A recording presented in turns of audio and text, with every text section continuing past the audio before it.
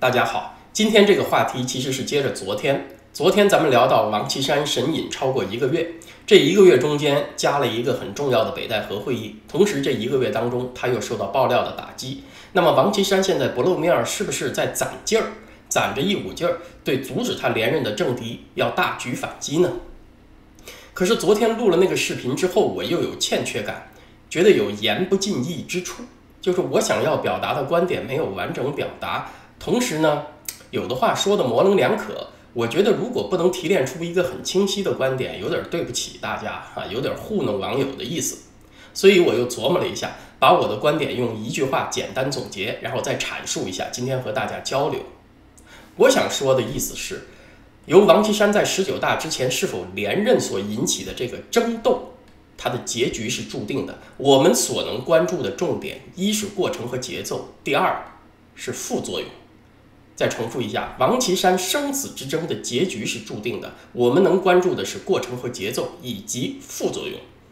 这个副作用的意义很有可能又大过了这个结局本身。什么叫做结局已经注定了呢？就是竞争的双方，他必然有一方倒下，势不两立。要知道，中共的权斗它是擂台赛。既然进了搏击场，就不可能两个人结束的时候还同时站着，他必定要有一个人是躺着出去的。中共的内部斗争是严格遵循战场上的规则，还不是商业竞争或者其他社会领域竞争的那种规则。战场规则是什么？用中国古代兵书《六韬》里面的一句话叫做“兵不两胜，义不两败”。就是两军对垒，不可能双方同时获胜，也不可能双方同时落败，它必定是一胜一败，一生一死，一存一亡，它必须得倒下一个才能分出胜负。而商业竞争或者社会其他领域竞争的规则呢，它是可以既有竞争也有合作，互利共赢，它可以发展出这种模式。呃，在商场上或者其他社会领域，胜负并不是以存亡来论的，是以形式来论。在市场份额当中，你占多少？你是否掌握着定价权？你对产业环境有多大的影响？等等。商业上的竞争，你说发展到一方在市场上消灭到另一方，把对方干到破产，这种结局还是比较罕见的，它并不是常态。当然，战场上有时候也会有平手、有和局，但是那也不是战场上的常态。啊，也许有人会说你说的不对啊，因为有惨胜如败这个说法，也有两败俱伤的局面啊。对，不过那是在国家战略层面讲的，战场上的结局，当下要分出一个结果来的话，一般都得是一胜一负，一生一死嘛。回过头来，我们说中共内部斗争的激烈程度，其实又超过了战场。它的残酷性超过了战场，因为战场上有时候还会有和局和平手，可是，在中共内部斗争里面，这种情况更加罕见。现在围绕着王岐山是否留任，这个矛盾激化到溢出到体制外了，甚至借助于海外舆论、民间舆论倒逼。用中共自己的话来讲，就叫严重违反政治纪律、违反党性，是可忍，孰不可忍也。除非倒王的一方获胜。他把持了朝局，他以后可以把这个事儿啊遮掩过去，否则他们的结局就是灭亡。为什么我说这个结局是比较清晰的呢？不仅仅是从哲理上、历史规律上和大家分析，而是因为它就是一个摆在眼目前的很简单的事实。这个事儿两三个月之内就会见分晓。现在距离中共十九大召开不到三个月嘛，王岐山在那之后是否还留在中共的决策层里面，是一个。非常清晰简单的结果，所以他一定会有一个胜负的。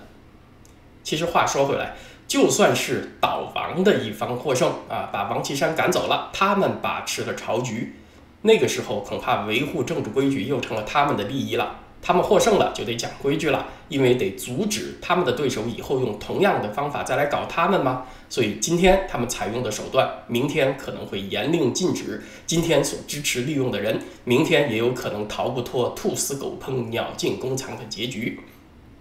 当然，咱们不是在这儿诅咒啊，不针对谁，大家不要对号入座。我们聊的是专制体制内权力斗争的历史逻辑。大家来看就近的例子，五年前王立军逃美领馆。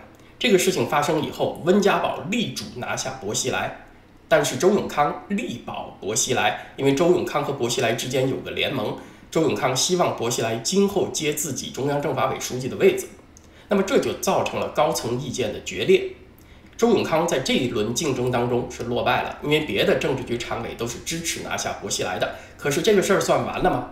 完不了。呃，在这一轮竞争当中落败，周的希望就是把薄熙来的案子拖到十八大以后，高层换届以后，他希望薄熙来案能有转圜，或者缩小这个案子对自己造成的不利影响。为此，他就需要重点打击温家宝的影响力，最起码给人一个感觉嘛。你说薄熙来腐败也好，或者别人腐败也好，你自己不是一样腐败吗？你有什么资格拿反腐败去治薄熙来的罪呢？因此，在十八大以前，《纽约时报》就有针对温家宝家族的爆料。呃，不知道是不是为了显示不仅仅针对温家宝，因为这样目的性太明显了嘛。所以那段时间还有彭博社针对习近平家人在海外活动的起底。确实，这个事情给温家宝以比较大的打击。以至于他在十八大前对人事安排的话语权有所削弱。十八大上上来的政治局常委大多数仍然是江泽民一派的人物，占了大半壁江山嘛。很可能胡温当时是以继续查办薄熙来案为条件，在常委的人选上向江泽民那边做了让步。这个情况我们以前分析过，不再重复了。二零一二年那一轮海外爆料的资料来源，一个普遍的猜测就是来自于周永康所控制的中共情报系统，因为那个时候除了他们，也没有人能搜集到这些资料嘛。那么周永康爆了温家宝的料，打击了温家宝，十八大换届了，温家宝退休了，这个事儿算完了吗？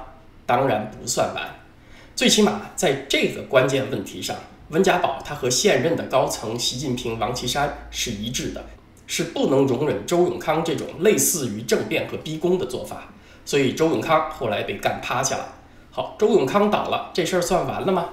那周永康那边阵营的人也觉得不能算完呢。你要干掉周永康这种实力派的前政坛大佬，那要做很多准备，要掌握军权，那就要把军队里面对方阵营的人物一起扒拉掉。你要动，就不是动一个，要动一票人。那对方能干吗？这事儿也不能算完呢。延续到今天，围绕着王岐山是否留任的问题，矛盾大爆发，出现了激烈的争斗，以至于成了全社会围观的一场戏。那这事儿完了吗？你给王岐山出了那么大糗，把他置于身败名裂的边缘，他就算争取到连任，这个事儿算完了吗？肯定也不能算完。所以沿着这条链条走下去，结果就是可以预期的了嘛。所以我说结果确定，不是说王岐山留任这个结果一定确定，而是说结果的模式是确定的，他必定是一存一亡，一生一死。结果确定了，剩下来的就是节奏问题，决定这个节奏的关键人物就是习近平。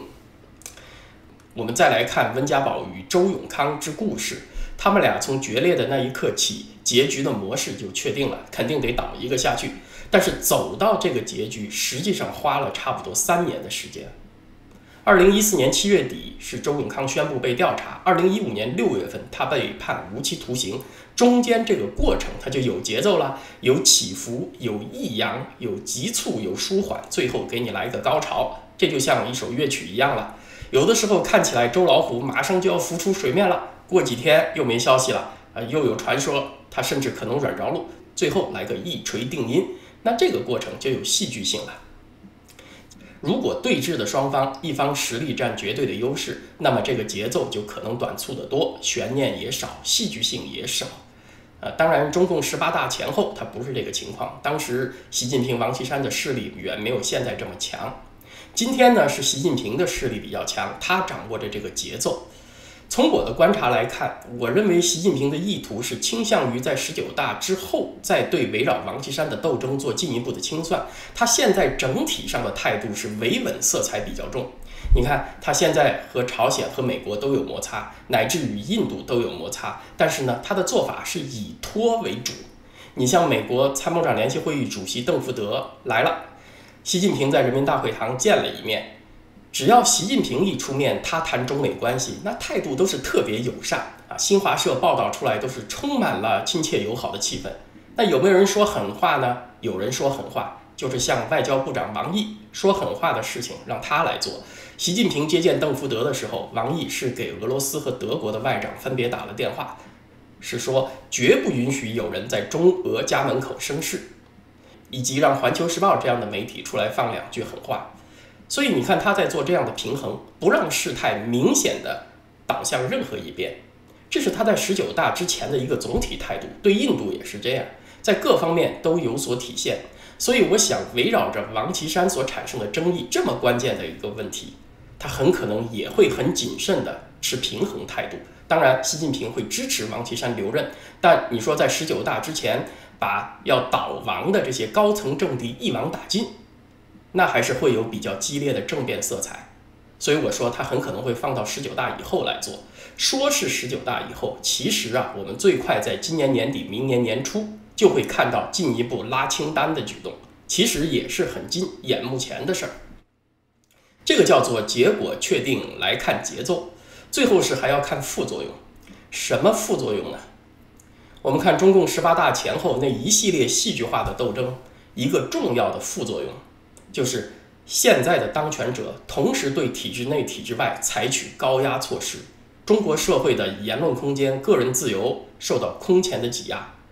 当权者所担心的是体制内反腐斗争所造成的不满溢出到体制外，与民间不满的声音相合流，在倒逼体制内。